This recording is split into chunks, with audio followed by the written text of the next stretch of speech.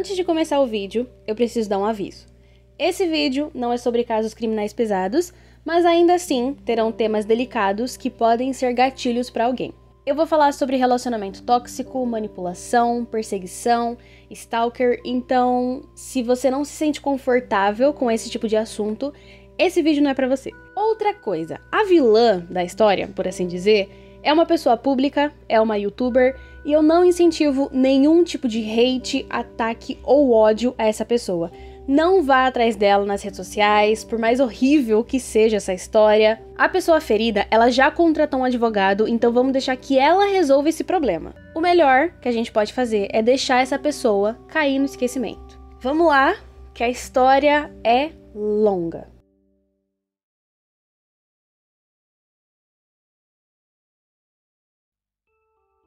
Essa história tem duas personagens principais, sendo as duas youtubers. Vamos começar pela Shannon, mais conhecida por Creepy Art Show. O canal dela começou em 2016 e inicialmente ela contava histórias da vida dela enquanto ela desenhava. Com o passar do tempo, ela se tornou um canal de comentários barra opinião e ela começou a falar sobre pessoas polêmicas e controversas, sobre acontecimentos bizarros, casos criminais e coisas desse tipo. Ela foi crescendo na plataforma, ganhando fãs e nada anormal até então. Nas histórias que ela compartilhou da própria vida, duas coisas chamaram a atenção. Durante um tempo da vida dela, ela teve que morar na rua ela e o marido não tinham casa, então eles tiveram que morar no próprio carro. Ela conta as experiências que ela teve e eu achei três vídeos dela falando sobre esse caso. Em dois vídeos, ela dá dicas de como sobreviver quando você não tem uma casa, dicas de higiene, de segurança, etc. E em outro vídeo, ela fala sobre como não ter uma casa afetou a saúde mental dela. Tem outros vídeos, principalmente quando ela fala sobre a vida dela ou sobre algum acontecimento, que ela menciona que já teve que morar na rua. Obviamente, se alguém fala que tá morando na rua ou que não tem onde morar, você fica preocupado. Então, os fãs dela se consolidaram. Ela já não tava mais na rua enquanto ela contava essas histórias. Mas ainda assim, as pessoas pensaram: putz, mano, que bosta que você teve que passar por isso. Eu fico feliz que você esteja bem, você é uma sobrevivente, tarará. Algumas pessoas discordaram, dizendo que ela não morou na rua, porque ela não era sem teto, entre aspas, porque ela tinha um lugar para morar, que era o carro dela. Mas, cara, imagina você ter que morar no seu carro, você não tem condições para pagar um aluguel, você não tem um lugar para morar. Então, mesmo morando no carro, ela ainda estava morando na rua, porque ela não tinha onde ficar. Tinha gente minimizando a situação porque ela tinha o carro dela, só que Tá, tem pessoas em situações piores, só que ainda assim é uma situação muito ruim. Não tem como você minimizar isso. No vídeo chamado Como Morar na Rua Afetou Minha Saúde Mental, ela explica que ela e o marido, namorado, sei lá, escolheram morar no carro porque eles realmente não tinham dinheiro para pagar um aluguel e eles tinham uma dívida. E eu acho que a palavra escolher não seja muito adequada, porque se você não tem dinheiro, você não tem escolha. Ninguém escolhe morar na rua. Ninguém fala, eu vou morar na rua porque eu quero ter essa experiência. Ninguém fala isso. Daqui a pouco a gente volta nisso. E ela fala sobre isso, que ela não morou no carro para parecer legal na internet, descolada, diferentona. E ela diz, e abro aspas, eu nunca pensei que morar na rua fosse algo descolado. Descolado, cool, legal, fecha aspas. Então, tem essa história dela ter morado no carro, e ela também conta histórias de fãs doidos e ex-namorada, mas tem duas histórias que se destacam. São três vídeos, com certeza ela fala sobre isso em mais vídeos, só que eu destaquei só esses três. O primeiro vídeo se chama Eu Fui Enganada, Eu Fui Catfishada. Catfish, para quem não sabe, é quando uma pessoa cria um perfil falso na internet e se outra pessoa cai nesse golpe, ela é catfishada, ela foi enganada. O segundo vídeo se chama Eu Fui Stalkeada por Mais de 8 Anos e o terceiro vídeo se chama A Pior Fã Ever. Os dois primeiros vídeos falam sobre uma moça chamada Amy. A Shannon não quis revelar o verdadeiro nome dessa moça, então é um apelido. E a Amy perseguiu a Shannon, mentiu para ela, stalkeou ela, fez a vida dela um inferno durante oito anos, mais de oito anos. Diversas vezes a Shannon falou sobre a Amy e como foi difícil essa situação. O último vídeo, chamado A Pior Fan Ever, foi o primeiro e único vídeo da Creepy Art Show que eu assisti antes dessa treta. Eu não sabia de nada na época, eu não fazia ideia, eu só assisti porque eu fiquei curiosa. Quem diria que meses depois eu estaria revendo esse vídeo para colocar no roteiro? Que ironia, mas enfim.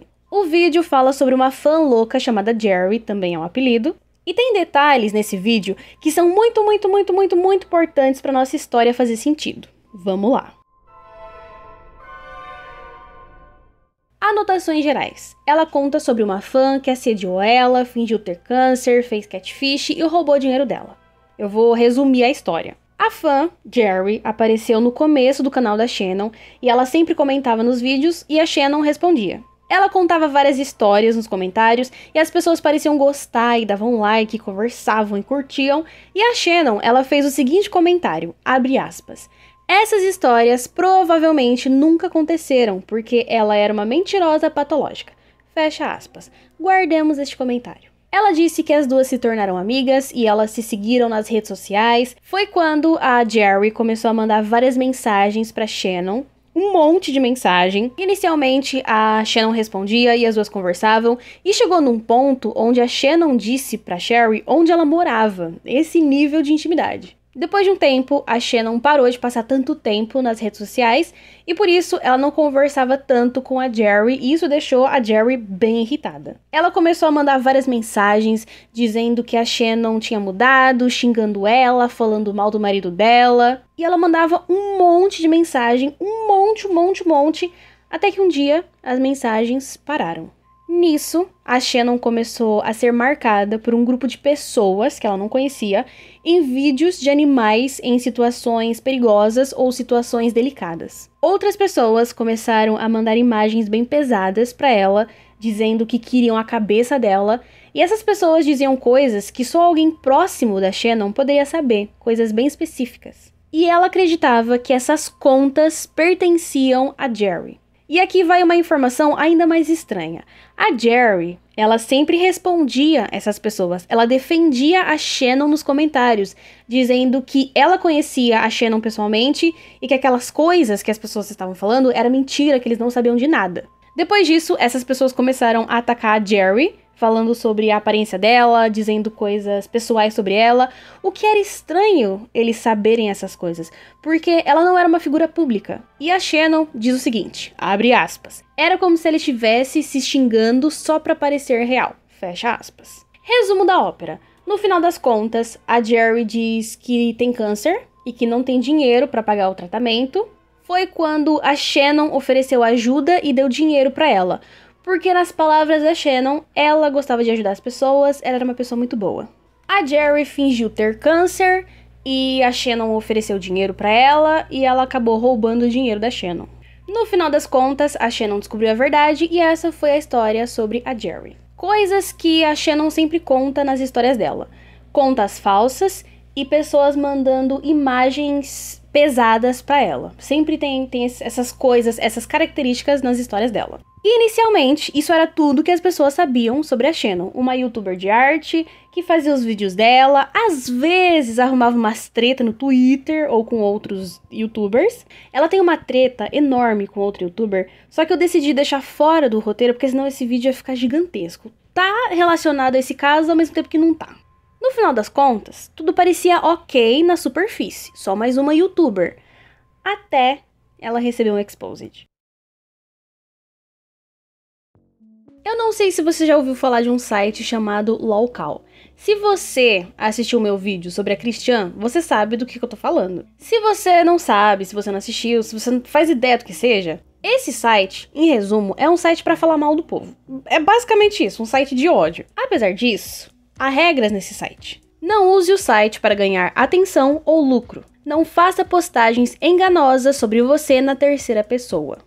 Acontece que tinha um usuário quebrando essas regras. E mesmo de forma anônima, os ADMs conseguiram descobrir quem era essa pessoa e fizeram um compilado com todos os comentários que essa pessoa fez no site. Eles colocaram nos prints This is not okay para destacar as mensagens, juntaram tudo e postaram com a seguinte descrição: Como muitos usuários sabem, as postagens da Shannon no local não foram exatamente sutis decidimos compilar o seu histórico de postagens depois que ela intensificou o seu comportamento ao compartilhar as redes sociais da sua irmã, a fim de evitar as críticas a si mesma. Além disso, ela tem promovido anonimamente os seus vídeos e o seu Patreon e postando sobre si mesma para se enaltecer ou insultar a si mesma. Fecha aspas. Eu não sei se eu abri aspas, agora fecha. Foi quando a internet descobriu que a Shannon barra Creepy Art Show tinha uma conta no local e fazia comentários bem horríveis. Bem horríveis. São mais ou menos 292 publicações e a data é de novembro de 2018, então é recente, ela já tinha um canal no YouTube. E é aí que começa a loucura. Esse caso, ele é assustador porque ele é muito bizarro. Primeiro, que ela fazia vários comentários transfóbicos, racistas e capacitistas. Ela falava mal da aparência física das pessoas, body shaming. Ela sempre gostava de usar a palavra retar uhum, e ficava falando, ah, esse autista, como se isso fosse uma ofensa ou como se fosse algo ruim. Ela também metia o pau nos amigos dela e em outros criadores que, inclusive, tinham brigado com ela publicamente, e aí ela, muito corajosa, falava mal deles anonimamente. Ela fez um vídeo sobre outro criador chamado DeAngelo Wallace e os dois eram amigos. O vídeo é até uma piada e ele comentou, e é uma piadinha. Anonimamente, ela metiu o pau no cara. Ela disse que as pessoas fingiam gostar dele. Disse que ele era pior que a Creepy Art Show, porque pelo menos ela tentava evoluir de alguma forma enquanto ele ficava sempre fazendo a mesma coisa. Ela criava discussões e ela era os dois lados da discussão. Tipo, ela postava, nossa, Creepy Art Show é uma bosta. E aí ela mesma respondia, não, Creepy Art Show não é uma bosta, é muito bom. E ela ficava nessa coisa de falar sobre si mesma, bem narcisista mesmo, falando quanto ela ganhava, que tinham medo dela. Depois desse exposed, ela se pronunciou na comunidade do canal dela com textão. Ela negou as acusações, ela disse que não tinha feito aqueles comentários porque era contra o que ela defendia, e ela disse o seguinte, abre aspas: depois de ver os prints do que eu supostamente disse sobre mim, sobre os meus amigos e o mais importante, sobre os meus parentes, percebi o que tinha acontecido. Alguns anos atrás, eu fiz um vídeo sobre como fui perseguida por mais de 8 anos por uma mulher chamada Amy. Esse não é o verdadeiro nome dela, porque eu estava protegendo a sua identidade. Fecha aspas. A partir daqui, ela começa a culpar a Amy. Ela dá um resumo das coisas que a Amy fez com ela e alega que a Amy falsificou o endereço de IP dela. Em resumo, gente, não fui eu, foi a minha stalker Amy.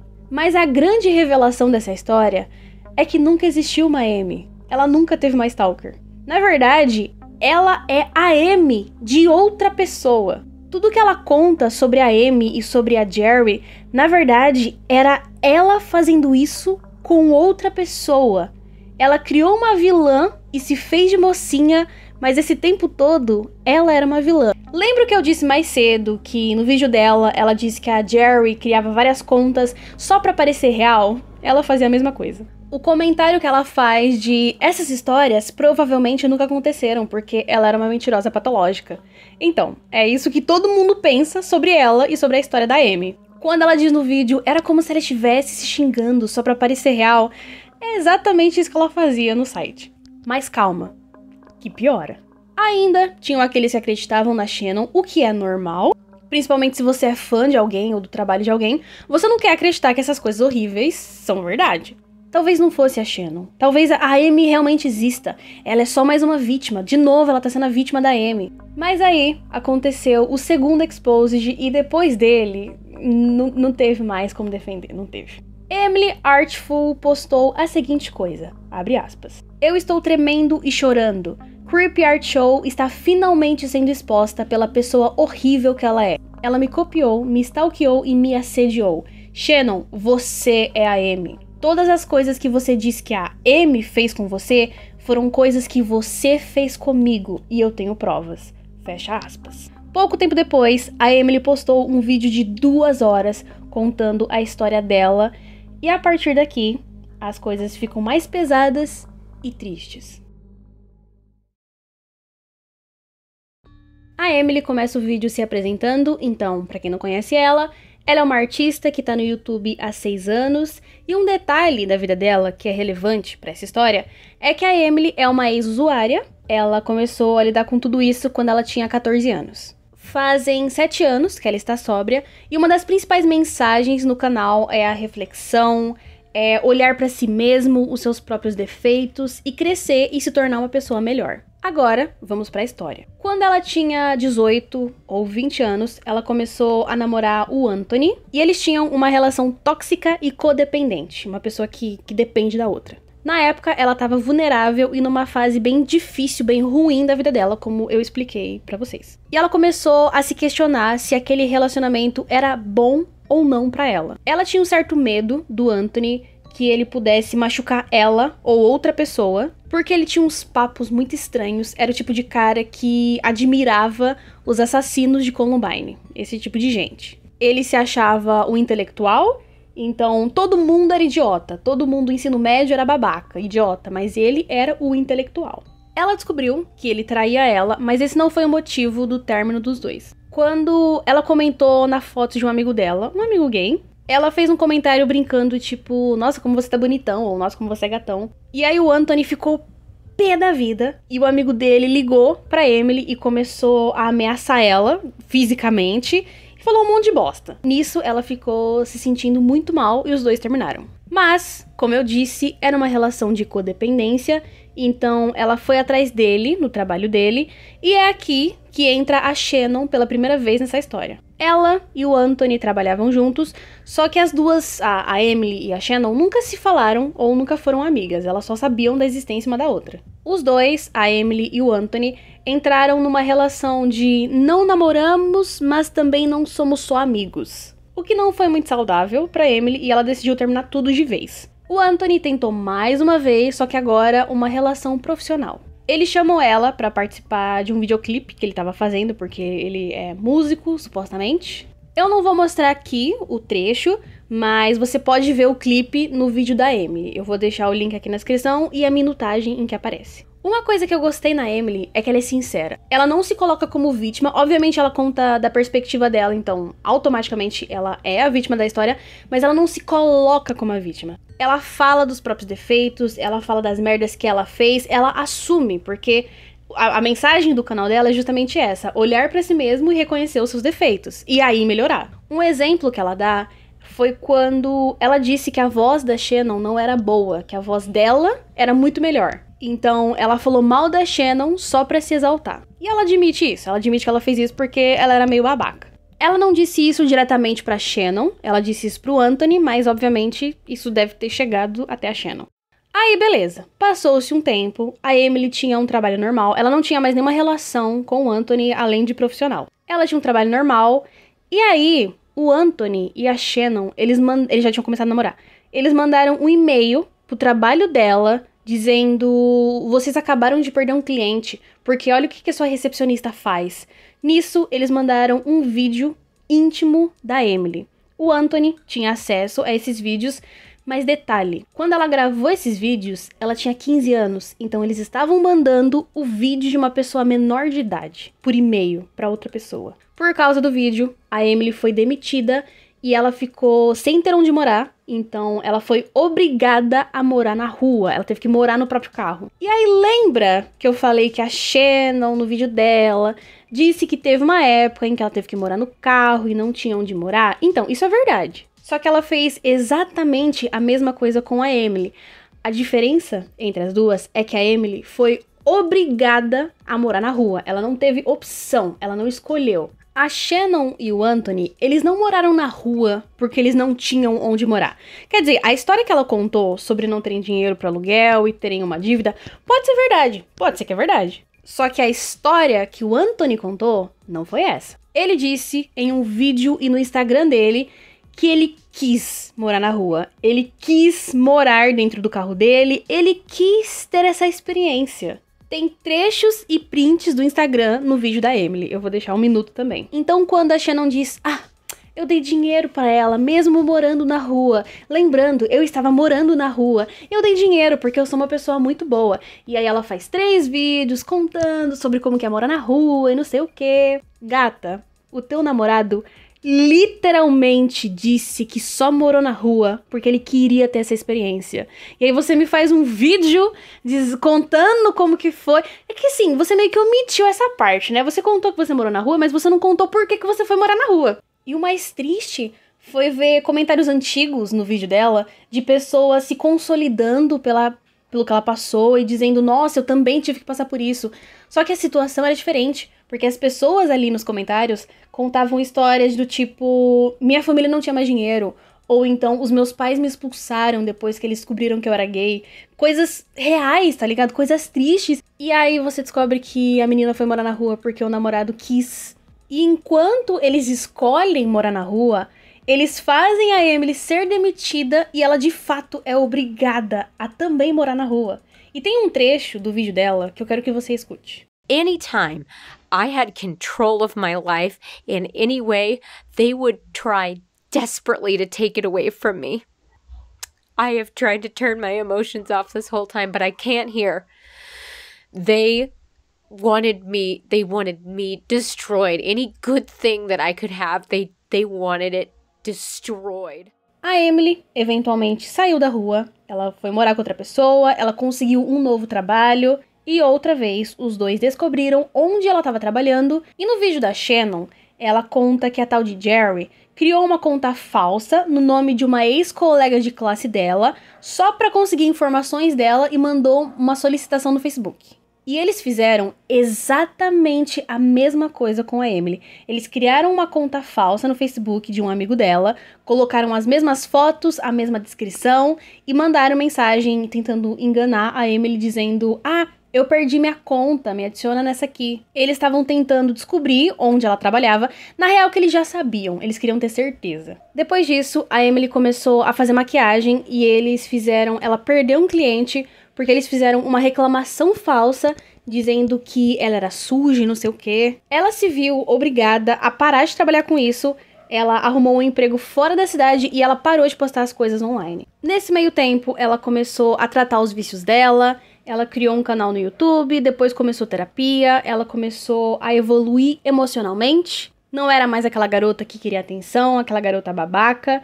E todo o tempo e amor ela colocou no canal dela e nos filhos dela. Ela diz que o canal dela salvou a vida dela. Ela criou o canal nesse contexto de desenhar e contar histórias. E sabe quem mais criou um canal com esse mesmo conceito? Creepy Art Show. Na época, a Emily não sabia que o canal era da Shannon. Ela não sabia. Ela soube da existência desse canal porque ela começou a receber vários comentários de pessoas aleatórias dizendo: Você ouviu falar da Creepy Art Show?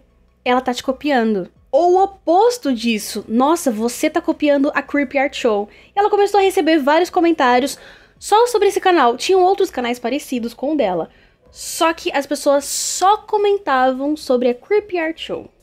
Que era estranho. E os comentários tinham o mesmo padrão: pessoas falando bem e pessoas falando mal.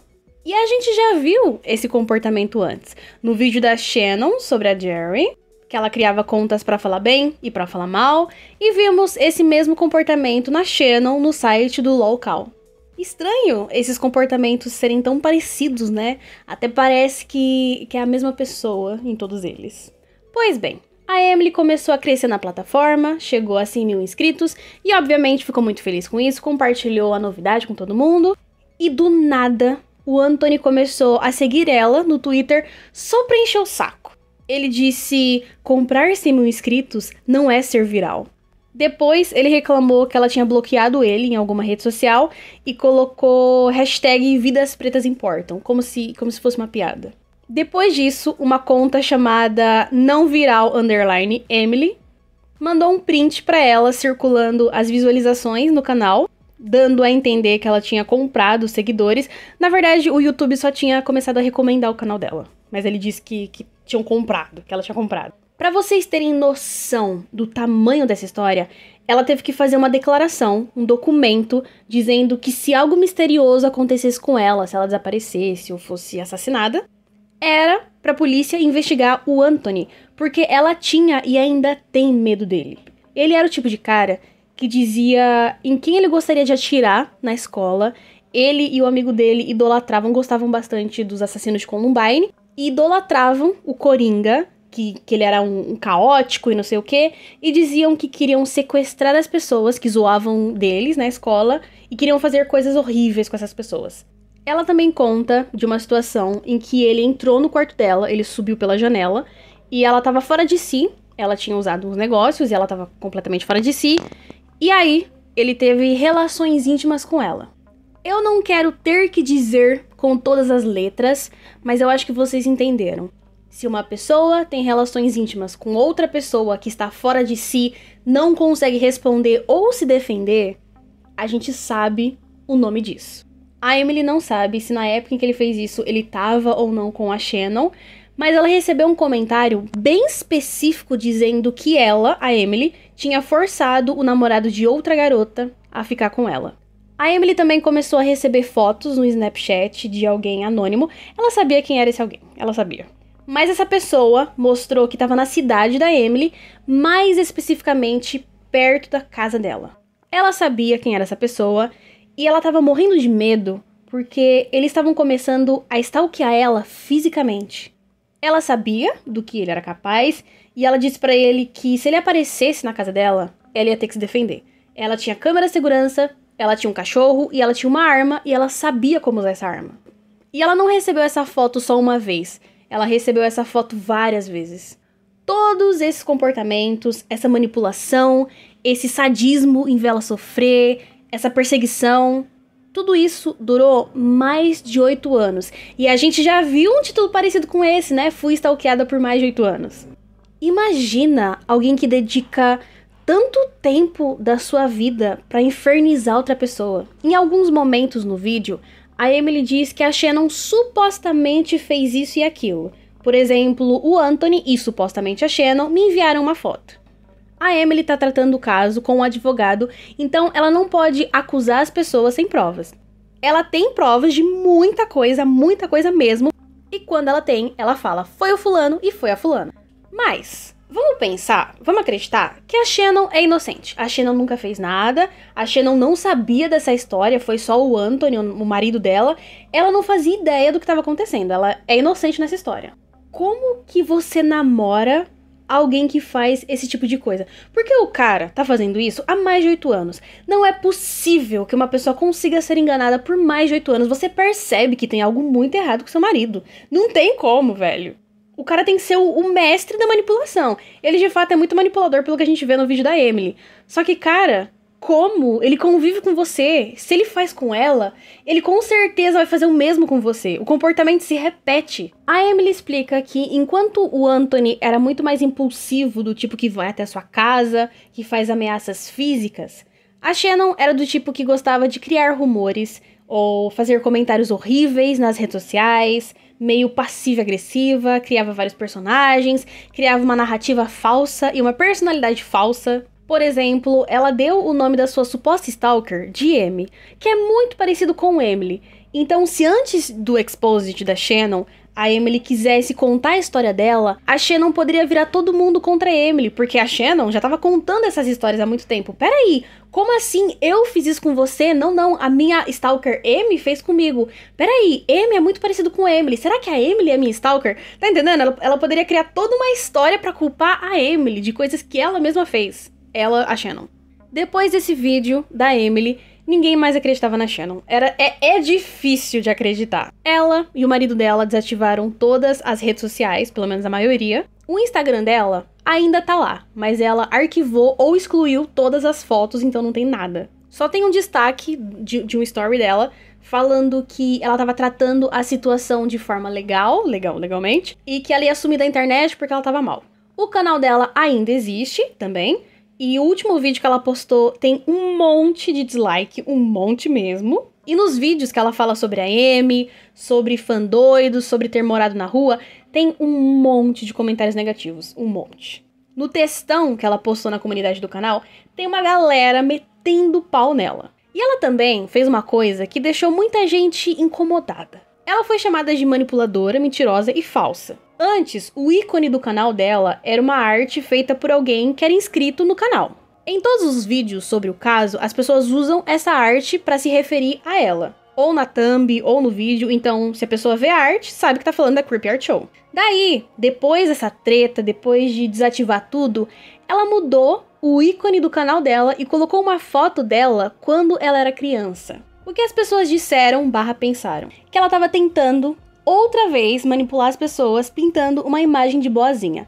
Lembra quando a Carol com K foi cancelada e ela começou a usar umas roupas clean? Isso é o marketing da pessoa boazinha, uma maneira de tentar limpar a sua imagem. Eu sou uma nova mulher, sabe? No caso da Shannon, ela colocou uma foto dela, criança, então é difícil você associar aquela criança com as coisas horríveis que ela supostamente fez. É a mesma coisa se eu tivesse feito uma merda muito grande, uma merda muito, muito grande, e aí do nada eu mudasse o ícone do meu canal para uma foto minha de quando eu era criança. O que, que, as pessoas iam pensar? Que eu tô tentando bancar a boazinha, que eu tô tentando limpar a minha imagem. Eu acho que não importa o que a Shannon faça, ela dificilmente será aceita de novo como uma influencer. Muita gente pegou raiva dela, muita gente não acredita na história dela.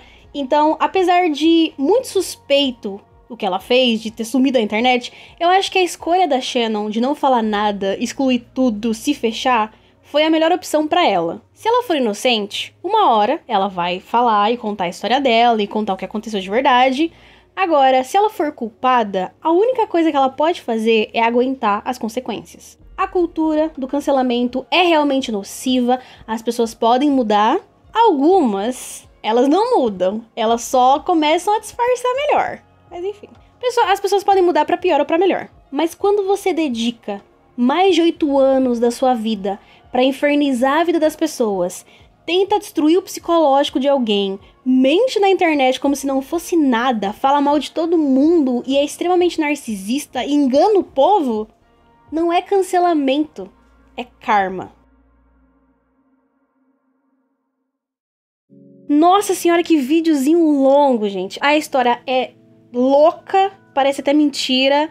Muito obrigada se você assistiu até aqui, se você ficou aqui durante todo esse tempo. Que fique de lição para mim e para vocês. Não vamos idolatrar youtubers, influencers, pessoas famosas, porque a gente não sabe quem são essas pessoas de verdade. A gente, youtuber, é tudo falso. A gente é falso. Ninguém mostra 100% da personalidade aqui na internet. Até porque não dá. Alguns mostram mais, outros mostram menos. Mas a verdade é que vocês não conhecem a gente de verdade. E talvez vocês nunca vão conhecer. Então diminua suas expectativas. Para de amar influencer como se eles fossem deuses, criaturas perfeitas e harmoniosas, gente. Você vai se decepcionar bastante se você ficar fazendo isso. Mas enfim. Muito obrigada se você assistiu até aqui. É... Se você gostou do vídeo, like, tchucurucutu, se inscreva, periri pararau. Nos vemos em breve. Adiós, muchachos. Beijinhos, tchau.